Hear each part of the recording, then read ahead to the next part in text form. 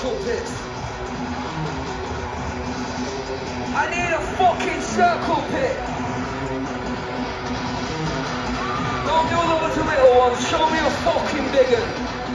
Show me a real one.